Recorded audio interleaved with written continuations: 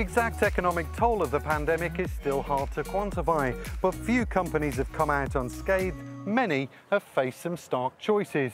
Hello and welcome to the programme. This week on Business Planet, we're focusing on the EU's coronavirus support for small and medium-sized enterprises. We're in Finland to see how one company is flourishing after it got the help it needed to weather the COVID storm.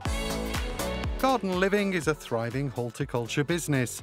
Based near Helsinki, the company is a specialist in plants and garden products and offers a host of bespoke services, including landscape design.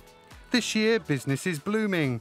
But 12 months ago, when the pandemic struck and lockdowns came into force, things weren't so rosy. Eva, tell us a little bit about what it was like this time last year. Ooh, that was a very bad time. In March, all the orders to restaurants were cancelled. And suddenly, in the same time, I had to pay all the bills for the starting gardening season. So everything was coming in, I had to pay bills. Just like hundreds of thousands of small business owners across Europe, Eva faced a liquidity crisis. Thankfully, she was able to get back on her feet and pay the bills with an EU guaranteed loan via her bank. How complicated was it to get the loan and were the terms attractive? Actually, it was quite easy. I called my bank and in two days we got a loan. The terms were fine. Eva's loan became possible after the European Investment Fund unlocked 8 billion euros to encourage banks to lend.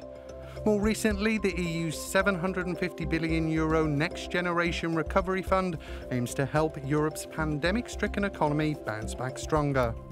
To find out more on what all this means for SMEs, we got some expert advice. Joanna, we've just seen one example of a firm here in Finland that was able to secure an EU guaranteed loan. For any other company still wanting to access this type of finance, what steps should they take? In fact, there is a lot of help available for SMEs interested in EU funding possibilities. For example, the Enterprise Europe Network provides companies advice on EU funding and helps the companies to find suitable funding instruments for their business.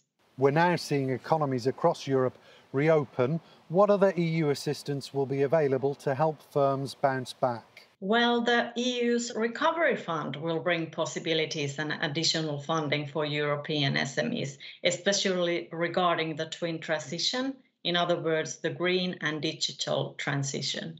Part of this funding is channeled to companies through different EU programs, and these programs will have higher budgets and they target in the renewal of SMEs.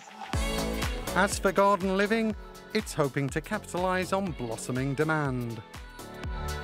Eva, it's been a hugely challenging year, but you're looking ahead. What are your plans for the future? Despite the initial problems, we still grew last year with 12%. People stayed more at home and they wanted to improve their gardens and homes.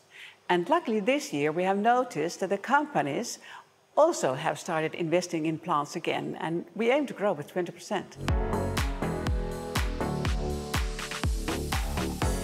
That's it for this Business Planet. For more on the various EU schemes designed to help firms navigate the pandemic, head to our webpage. Thanks for watching and see you soon.